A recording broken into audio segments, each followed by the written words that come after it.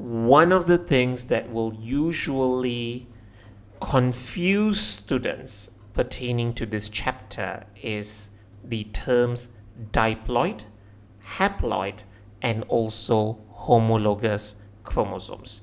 When I'm teaching this chapter, a lot of times students get, they feel like they understand it, but at the same time, they also have some doubts on this chapter. So let's try to understand what these terms mean. Now, if you remember in the previous video, I told you that an organism, I'm just, again, a made up organism, as you can see, it's a blue colored triangle organism. Some students will ask me this question, teacher, what exactly is this organism? I have no idea. It's just an organism, you know, it's just a made up organism, okay? Uh, and if we look at the body cell of the organism, like for example, a skin cell or a muscle cell or whatever, uh, it will have a nucleus and inside the nucleus, it has its chromosomes. And I told you that usually for this chapter, we will represent the chromosomes in their chromatid or coiled form because it's easier to quantify. So as you can see here, what you notice is the chromosomes, uh, there are four chromosomes for this made up organism. Again, remember, different species will have different numbers of chromosomes. I am choosing to represent this organism with four chromosomes inside its body cell nucleus okay? So 4 is not a magic number. For humans if we were to look at the body cell how many chromosomes would we find?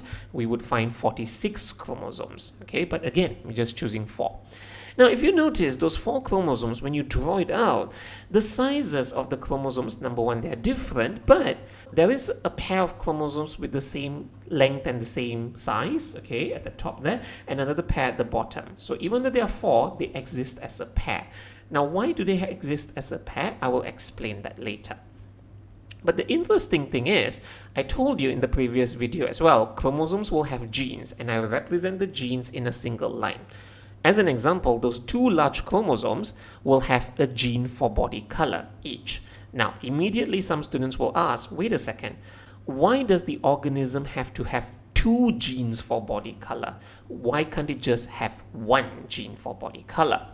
Um, there is a reason, again, I'm going to explain that later. And this gene for body color will code for a protein. Remember, genes code for a polypeptide or a protein, which affects our characteristics. So this gene for body color would probably code for a protein, and that protein makes the organism become blue in color, as an example. And for the chromosomes at the bottom, they have genes as well. And those genes are the genes for body shape. Again, it has a gene for the body shape on the chromosome on the left and the so-called similar length chromosome on the right side. It also has a gene for body shape as well. Again, so this organism has four chromosomes in its body cells, okay, and two genes for body color on each chromosome at the top and two genes for body shape at the two chromosomes at the bottom. So far, so good. Now, let's take a male parent of this species Okay, look, it has four chromosomes. And let's take a female parent. Okay, so the female parent, it's the same species by the way, but the characteristic of the female parent is slightly different. Where I've represented the shape of the female parent to be a square and the color of the female parent to be red. Based on the previous video I told you before, the offspring has to receive half the genetic information from either parent. Alright, which means to say See, the offspring here has to receive two chromosomes from the male parent and two chromosomes from the female parent, where when the fertilization of the gametes happen, it becomes four chromosomes again. So come back over here. So, obviously the male parent will have to give two chromosomes and the female parent will also have to give two chromosomes. So we know that. We know that each gamete or sex cell must have the two chromosomes. Fine. Now, does it matter which two chromosomes the male parent gives? Or does it matter which two chromosomes the female parent gives? Like you know is that if i if you notice i'm going to number the chromosomes from the male parent chromosome 1 2 3 4 and the female parent 5 6 7 8 okay just just just numbering the chromosomes okay for our lesson here. So we know that the male parent has to give two chromosomes. The amount of chromosomes it has to give is 2 does it matter which two chromosomes it gives Okay, can, can it be a random chromosome like chromosome number 1 or 2 or 3 and 4 or 1 and 3 or 2 and 4 or 1 and 4 or 2 or 3? And is it also the same with the female parent as well? And now some students will say, no, it doesn't matter which two chromosomes the parent gives. So let's take a situation.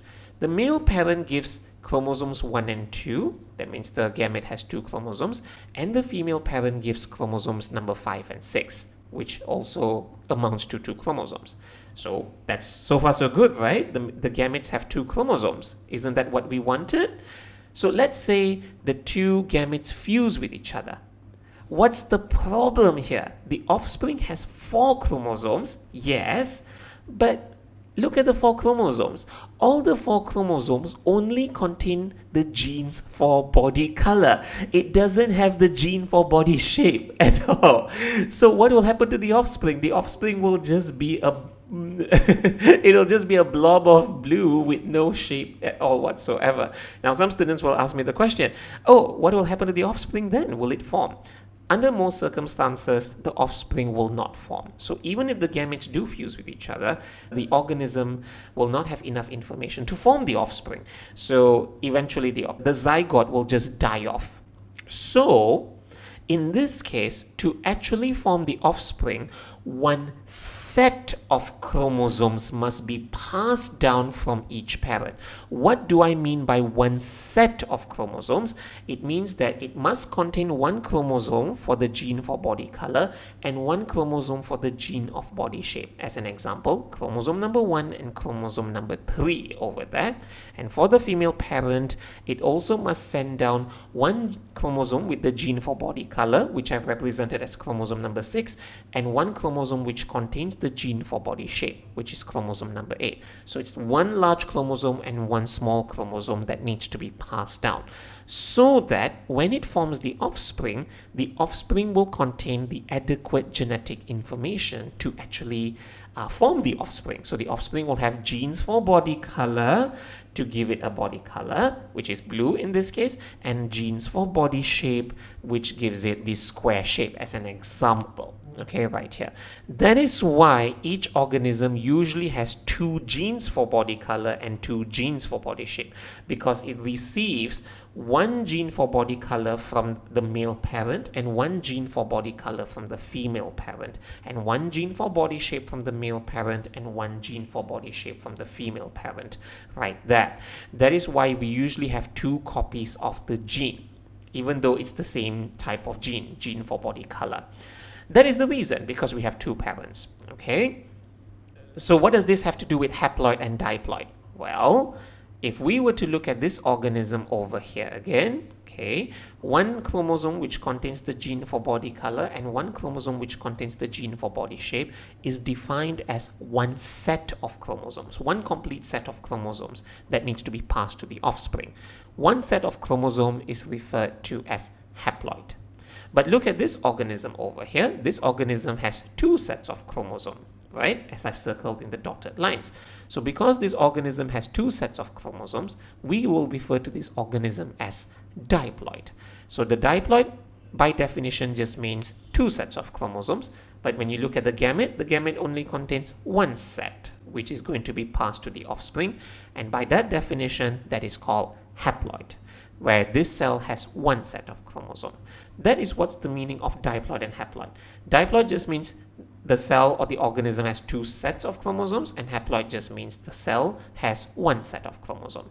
And the diploid number is usually referred to as 2n. It's just a symbol that we use. And what's the diploid number?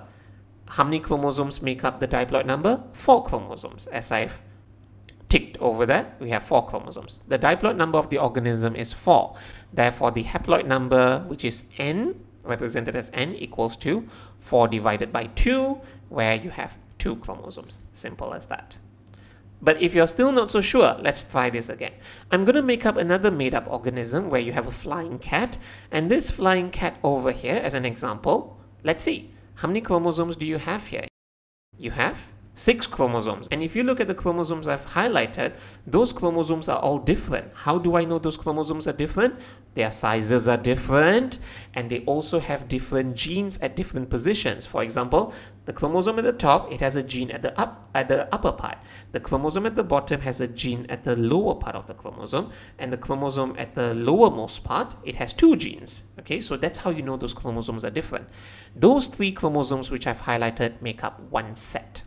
Okay, some students will ask, can I assign the sets randomly as well? You may. For example, if I highlight the green, green, and for the fun of it, just highlight the green one on the right side. That also is defined as one set of chromosome.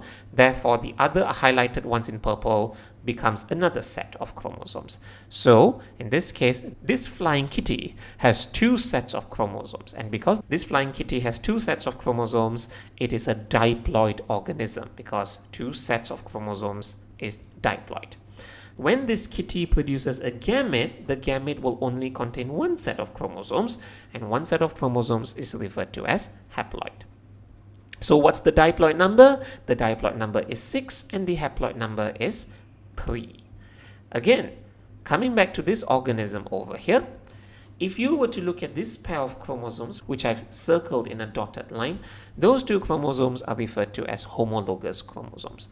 The definition of homologous chromosomes just means that they have the same length, okay, obviously, the same position of the centromere, and they also have the same gene loci. Loci just means the position of the gene. What do I mean by the position of the gene? Very simple. If you were to see it in these two identical chromosomes of the same length and same position of centromere, let's say the chromosome on the left has a gene called gene A. Okay, gene A codes for something, don't care. If I were to look at the homologous pair on the right side at that same exact position, I will be able to also find gene A. And for example, if I find gene B in that position, the same homologous pair, gene B, gene C, gene C on that side as well. So that is what is meant by homologous chromosomes. Homologous chromosomes are chromosomes, a pair of chromosomes. They are always a pair, by the way. There are some exceptions, but under normal circumstances, they exist as a pair of the same, a pair of chromosomes of the same length, same position of centromere, and same gene loci. Okay, let's put it all together. Now, I'm drawing out an otter over here. Again, this otter as an example. I'm just representing this otter to have how many chromosomes in total? Eight chromosomes in total, which I've I'm, and I'm naming the chromosomes as chromosome A, chromosome B, C, D, E, F, G, H, and those green lines represent the genes, okay, on the, each chromosome. So, list out one set of chromosomes. Some students will say, oh, one set of chromosome is A, C, E, and G. And also another set of chromosome is B, D, F, and H.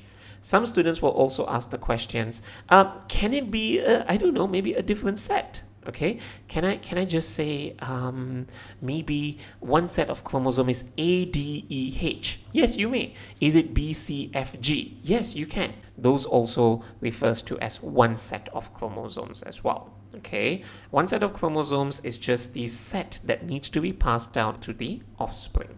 But this otter over here has two sets of chromosomes aceg makes one set bdfh makes one set.